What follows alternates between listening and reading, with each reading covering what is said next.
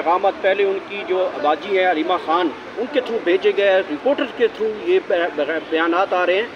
کیا وجہ ہے کہ عمران خان ڈیل کرنا چاہتے ہیں یا کیا بات کرنا چاہتے ہیں پہلے تو آج کے مقدموں کا میں آپ کو احوال بتا دوں۔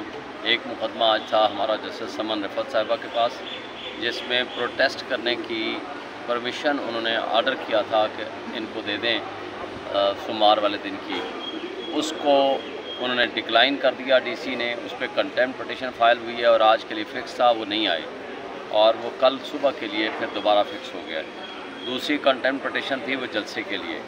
ہم نے پانچ اگست کے جلسے کی اجازت نامہ جو مانگا ہوا تھا، اب پانچ اگست ہم نے ثوابی میں بھی جلسہ رکھا ہوا ہے۔ یا تو اسی دن یا جو بھی ہمارے لیے سوٹیبل جگہ ہوگی۔ آج چیف جسٹس صاحب نے ان کو واضح طور پر کہہ دیا۔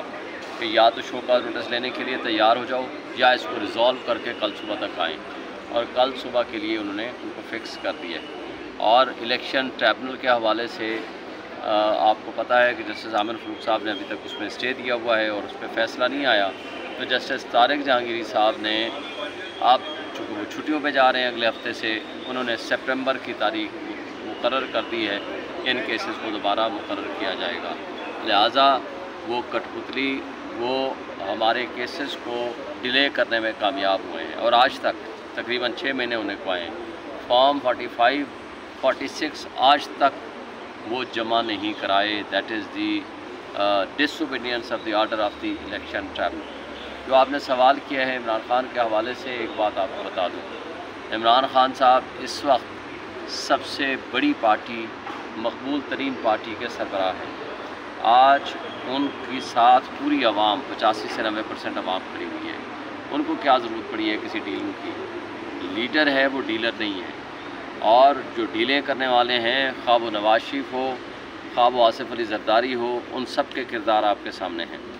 آج آپ کو ایک بات بتا دوں کہ اگر آپ نائنتھ مے کے حوالے سے دیکھیں گے تو پہلا فیصلہ کیا تھا مرید بلوچ صاحب نے یہاں۔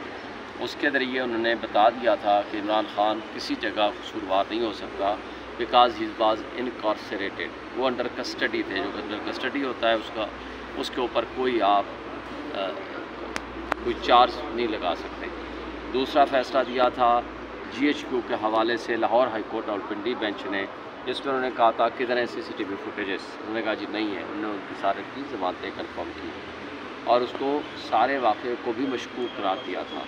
تیسرا واقعہ آیا، جسٹس جمال مندوخیل صاحب کی سربراہی میں سپریم کورٹ نے فیصلہ دیا حمزہ کیمپ کے متعلق۔ اور حمزہ کیمپ میں جب پوچھا گیا کہ سی سی ٹی وی فوٹیجز کہاں ہیں، انہوں نے کہا جی وہ تو خراب ہے اور اس کے ساتھ انہوں نے کہا ایویڈنس کیا ہے، انہوں نے کہا جی لاہور کا ایک سپاہی ہے، اس کی ایویڈنس ہے۔ انہوں نے اٹھا کر کے وہ سب کی ضمانتیں بھی کر دی انہوں نے کہا جی سارا غلط ہے۔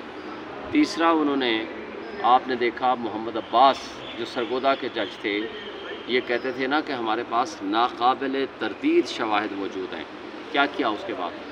اس کے بعد انہوں نے یہ کیا کہ اس کے گھر پہ فائرنگ کی، اس کے ریڈر کو اٹھایا اور اس کے ساتھ جس طرح کا تزیق آمیز سلوک کیا، اس پہ آج بھی contempt proceedings Lahore high court نے انیشیٹ کی ہوئی ہیں اور ان تمام ملزمان کو بری کر دیا گیا۔ پھر سب سے آخری فیصلہ ابھی آیا ہے سپریم لاہور ہائی کورٹ کے ڈویژن بینچ کا۔ آپ کو پتہ ہے کہ جو وہاں کا ایڈوکیٹ جنرل ہے، اس کا تقریباً چالیس لاکھ روپیہ اس کا پیکج ہے، ایز اے اسپیشل پیکج اس کو دیا گیا۔ لیکن اس کو پہلے تین دن، پھر دو دن، پھر ایک دن کے لیے ان کو ٹائم دیا کہ جی آپ عمران خان کے خلاف جو فزیکل ریمانڈ دیا گیا تھا، نائنتھ مے کے حوالے سے جو تیرہ مقدمات میں ان کو گرفتار کیا گیا تھا، انہوں نے کہا کوئی ایویڈنس آپ کے پاس موجود ہے تو آپ لے آئیے۔